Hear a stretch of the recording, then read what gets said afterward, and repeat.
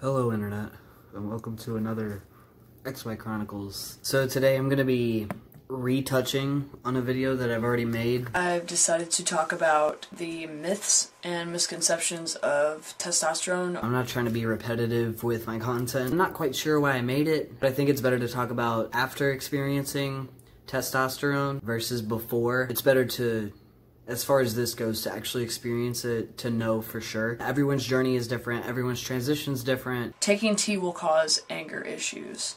that is one of the top misconceptions. Cis men taking testosterone versus trans men taking testosterone or non-binary folks taking testosterone is completely night and day. Because cis men already have an abundant amount of testosterone in their system. Now they may be low on t levels and have to take testosterone to boost those but that just means that their existing testosterone is enhanced so it may react differently with say a trans or non-binary person who has no traces of testosterone in their system and they're putting a brand new hormone into their body. We all experience emotions different ways. I may take testosterone and feel more happy. It's going to make me more docile, maybe, and more just, you know, like chill. I won't be so anxious about, you know, passing. I did calm down a lot when I started taking T. The weight off my shoulders was phenomenal. Your body is so used to all this estrogen, not all the testosterone, so when you start taking it, of course you're going to have mood swings. You're going to feel certain ways certain days. The misconception is there, but also it was just like there were a lot of things that I struggle with personally because of trauma and my reaction to things is a lot different than someone who hasn't gone through the traumas that I've been through. Obviously, there were going to be some behavioral differences, but with testosterone, getting on the hormone, I almost felt balanced. I think that once I start growing some facial hair, my voice gets deeper. I think now I look like a 12 year old boy who hasn't hit puberty yet, and it's really frustrating. you still look young, dude. Not really 12, more like 17, 18, but you still look very young. Um, but you don't get misgendered, so there's that. Hormone levels in the body are complex and balanced a certain way. When I start T, or when anyone starts T, it's a dramatic, sudden change. So, mood swings are to be expected. If anything, I've been more composed. I've been less explosive with my anger. Pre T, I was very apt to react as soon as something happened.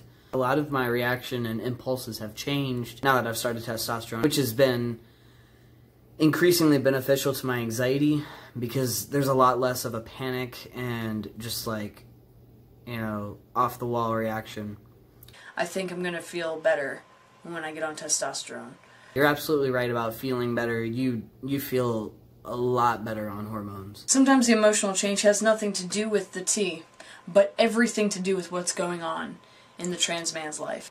Going through the early years of transitioning is some of the hardest years of your life. A lot of people want to pinpoint, are you feeling this way? It's probably the testosterone. The only mood swings that happened during the beginning of my transition were a few days before my shot was due, but that's actually to be expected. In the early stages of taking testosterone, your body's still trying to kind of adjust. A couple days before shot day, you might get a little bit more irritable and a little more short tempered just because your body is like, oh, it's about time for that, you know, hormone to come on through wherever you're doing the shot. Mine's in the butt. My dose changed. That was kind of interesting at first to get used to. My doctor microdosed me, so I never like did a big leap to taking half a milliliter, which that's still kind of like low for some guys. They're on one milliliter. Um, but again, everybody's different. Everybody's T levels are different, and this is why you should go to a doctor because doctors can actually prescribe the correct amount of testosterone to take, and you can still do checkups in case anything feels off. Um, our bodies are constantly changing, and sometimes your dose may change, and you may need to lower or heighten, higher, low, lower or heighten it. What in the world? Taking T will make you taller. I wish.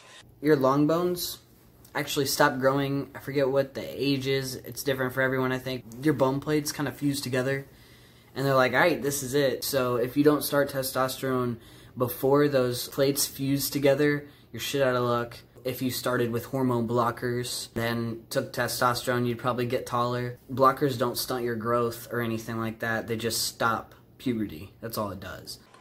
I'm a short man in a tall world, and I don't like that. I don't know.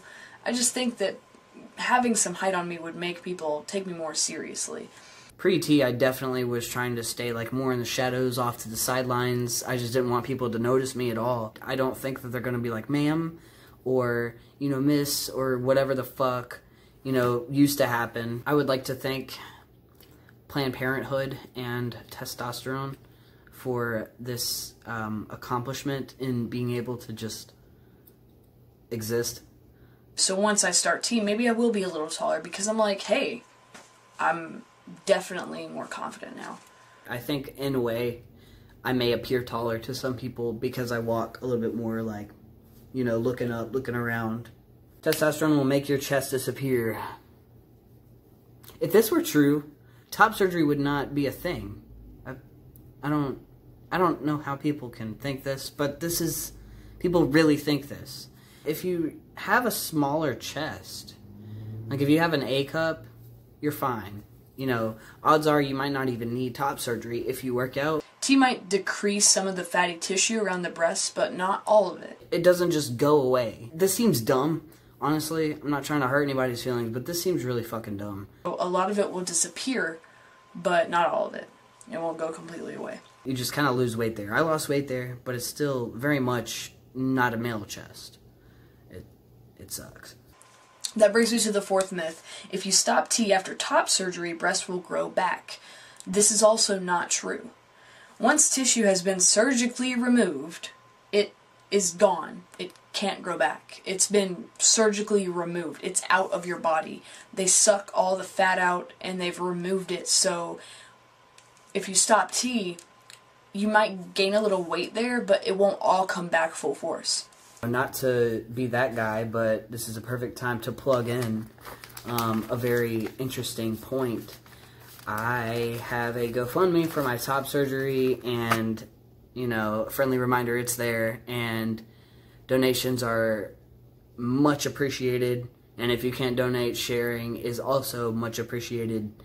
Um, just get the word out there, and I want as many people to see it as possible. The link will be in the description below and it's all over my social medias, so go check that out. Taking T will make you gay. this is obviously a myth because sexuality and gender have nothing to do with the other. A portion of trans men do experience a change in their sexual feelings post transition. My sexuality actually did change. At that time, I had a lot of internalized like biphobia towards myself. I plan on being one of the people to contribute to fixing toxic masculinity.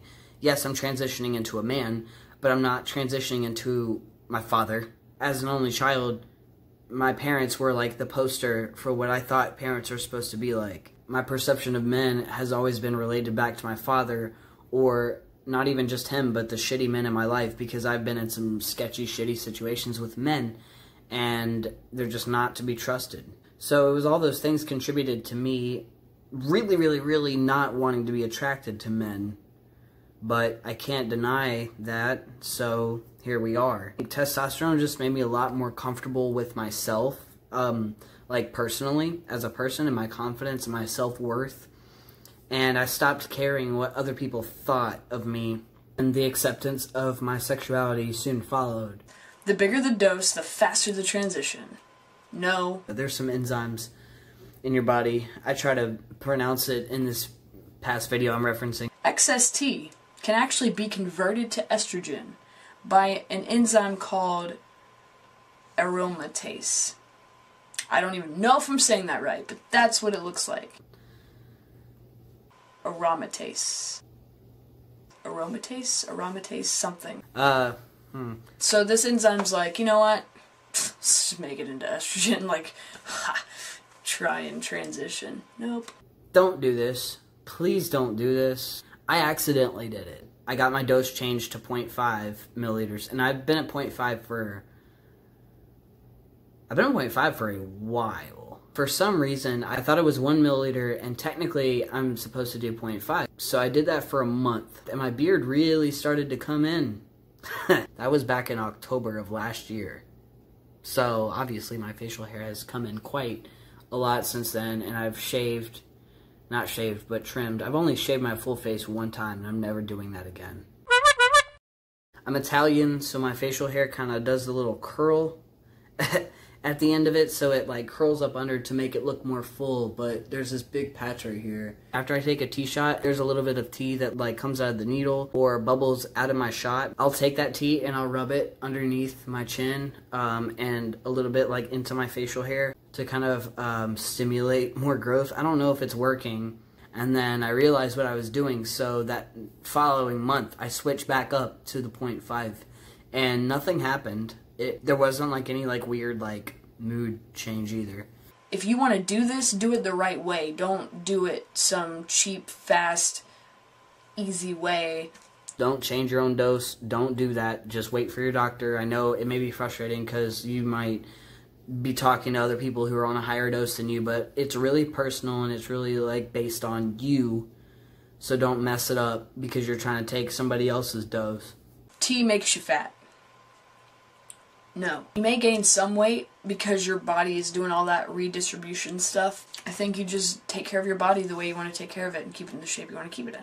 It all depends on what you're doing and how, like, what your routine is and what you eat.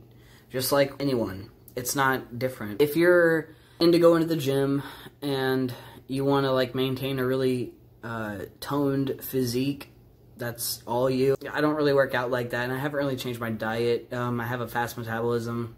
So I did uh, start gaining weight in different places, and I bulked up a lot. My shoulders are going to broaden, believe it or not. In my shoulders, I got broader. Um, I got, like, I take up a lot more space. My face is going to be more um, chiseled, a square jawline. It's not going to be so sleek like it is now. My face is obviously a lot more, like, wide. Trans men are just masculine lesbians. Okay, this is so fucking annoying because it's still a big topic. It's not the same. It's really not. Trans men are not always lesbian first. That's part of discovering your sexuality. Once again, like I've stressed, gender and sexuality are two separate things. I think that's a lot of the thing that people are like so bent out of shape about uh, trans men and trans women. It's like they're just confused about the sex part. It's really none of your fucking business how I get off. So I don't know why you're wondering. It's not about that. It's about like your identity as a person. Guess what? Gender and sexuality, they're different. It's not identity, it's expression. They're choosing to dress that way. They're choosing to express themselves through their clothes that way or you know how they have their hair or whatever the fuck you may say the difference between masculine and feminine lesbians are. But again, that's expression. They don't want to transition. For me, I've been male all my life. They're not transgender. They're lesbian. They're comfortable in their bodies. I wasn't. There's a difference. And then that kind of segues into the next misconception that all trans men come from the lesbian community. Again, no. Discovering yourself, you're trying to figure out what you identify as, you don't know. There's the umbrella term queer now. I know back in the day, queer was like, don't say that, it's offensive. But now it's an umbrella term. I identified as lesbian before I identified as transgender, so yeah, it can seem that way. And there are trans men who start off as lesbian and then realize, oh, it's not just my sexuality, it is my gender. That does happen, but it's not always the case. The last one is you can always tell who's trans. It's really transphobic. Never assume. Um, it's always very polite to ask what pronouns you prefer. Open your mind, open your heart. Stop making these misconceptions about trans men. Just educate yourself. It's fine to ask questions to a trans person, but don't come in hot and ask really invasive personal questions. And if you want to ask one of those questions, ask if it's okay before you ask the question. Like, hey, is it okay if I ask you something personal about your transition? Or is it okay if I ask you about your genitals? Because nine times out of ten, it's a no. Don't ask a trans person for their dead name. There's some things you just don't ask. First of all, thinking about does it matter to you? Is it affecting you personally if if this is how it is? No? okay, then you probably shouldn't ask. So just be mindful of those things, and not everyone is open to talking about these things either, so just be mindful about that too. And Google is a free search engine that you can use to figure out some things because nine times out of ten it's already been answered on the internet. The internet is a wonderful educational place with plenty of sources and plenty of things that could educate you. There's a lot of reliable websites and sources that you can go to about trans related issues if you really want to educate yourself further. That's it for today's video. Uh, stay safe and stay well, and I will catch you in the next video of whatever I make.